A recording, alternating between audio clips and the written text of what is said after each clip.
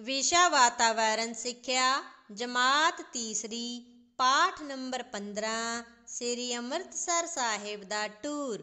ਪਿਆਰੇ ਬੱਚਿਓ, ਹੁਣ ਤੱਕ ਤੁਸੀਂ ਪਾਠ ਨੂੰ ਪੜ੍ਹਦੇ ਹੋਏ ਚੰਗੀ ਤਰ੍ਹਾਂ ਜਾਣ ਚੁੱਕੇ ਹੋ ਕਿ ਅਮਨ ਨੇ ਸ੍ਰੀ ਅੰਮ੍ਰਿਤਸਰ ਸਾਹਿਬ ਦੇ ਟੂਰ ਬਾਰੇ ਆਪਣੇ ਦੋਸਤ ਸੁਖਵਿੰਦਰ ਨੂੰ ਜਾਣਕਾਰੀ ਦੇ ਦਿੱਤੀ ਹੈ। ਪਰ ਇਸ ਤੋਂ ਇਲਾਵਾ ਅਮਨ ਨੇ ਹੋਰ ਕਿਹੜਾ ਮਹੱਤਵਪੂਰਨ ਸਥਾਨ ਵੇਖਿਆ? ਆਓ ਅੱਜ ਆਪਾਂ ਦੋਵਾਂ ਦੀ ਅਗਲੀ ਗੱਲਬਾਤ ਰਾਹੀਂ ਜਾਣਦੇ ਹਾਂ। ਸ੍ਰੀ ਅੰਮ੍ਰਿਤਸਰ ਸਾਹਿਬ ਵੇਖਣ ਤੋਂ ਬਾਅਦ ਤੁਸੀਂ ਕਿੱਥੇ ਗਏ? ਅਸੀਂ ਬੱਸ ਵਿੱਚ ਬੈਠ ਕੇ ਅਟਾਰੀ ਬਾਰਡਰ ਵੇਖਣ ਗਏ।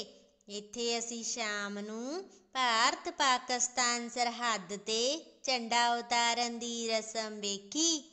ਉੱਥੇ ਸਾਡੀ ਮੁਲਾਕਾਤ ਭਾਰਤੀ ਸੀਮਾ ਸੁਰੱਖਿਆ ਬਲ ਦੇ ਜਵਾਨ ਸਰਦਾਰ ਗੁਰਪ੍ਰੀਤ ਸਿੰਘ ਨਾਲ ਹੋਈ। ਉਹਨਾਂ ਨੇ ਸਾਨੂੰ ਸੜਕ ਸੁਰੱਖਿਆ ਨਿਯਮਾਂ ਬਾਰੇ ਕਵਿਤਾ ਸੁਣਾਈ। ਮੈਂ ਵੀ ਤੈਨੂੰ ਸੁਣਾਉਂਦਾ ਹਾਂ। ਚੰਗਾ ਹੋਵੇ ਜੇਕਰ ਬੱਚਿਓ ਸੁਰੱਖਿਆ ਨਿਯਮ ਅਪਣਾਈਏ। ਸੁਖੀ ਸਾਂਦੀ ਘਰ ਤੋਂ ਚੱਲੀਏ, ਸੁਖੀ ਸੰਦੀ ਮੁੜ ਆਈਏ। ਚੱਲਣ ਲਈ ਇੱਕ ਨਿਯਮ ਹੈ ਪੱਕਾ, ਖੱਬੇ ਹੱਥ ਹੀ ਜਾਈਏ। ਕਰਤਵ ਕਦੇ ਨਾ ਸੜਕ ਤੇ ਕਰੀਏ, ਨਾ ਹੀ ਖੇਡ ਖਡਾਈਏ। ਤੇਜ ਰਫਤਾਰੀ ਬੜੀ ਹੈ ਮਾੜੀ ਇਸ ਤੋਂ ਬਚੀਏ ਤੇ ਬਚਾਈਏ। ਬੱਤੀਆਂ ਸਿਪਾਹੀ ਤੇ ਚਿੰਨਾਂ ਨੂੰ ਮੰਨ ਕੇ ਆਪਣਾ ਫਰਜ਼ ਨਿਭਾਈਏ।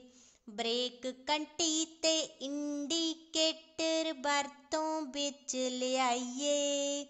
ਵਾਹਨ ਚਲਾਉਂਦੇ ਫੋਨ ਨਾ ਕਰੀਏ, ਨਾ ਉੱਚਾ ਸੰਗੀਤ ਬਜਾਈਏ ਬਾ ਬਹੁਤ ਸੋਹਣੀ ਕਵਿਤਾ। ਫਿਰ ਵਾਪਸ ਆ ਕੇ ਤੁਸੀਂ ਕੀ ਕੀਤਾ?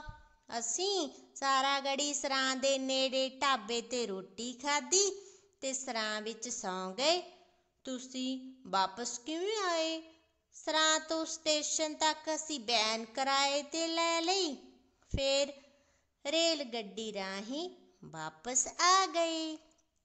ਵਾਹ, ਪੂਰੇ ਟੂਰ ਦਾ ਵੇਰਵਾ ਸੁਣ ਕੇ ਮਜ਼ਾ ਆਇਆ। ਮੈਨੂੰ ਤਾਂ ਇੰਜ ਲੱਗਿਆ, ਮੈਂ ਵੀ ਤੁਹਾਡੇ ਨਾਲ ਹੀ ਜਾਇਆ।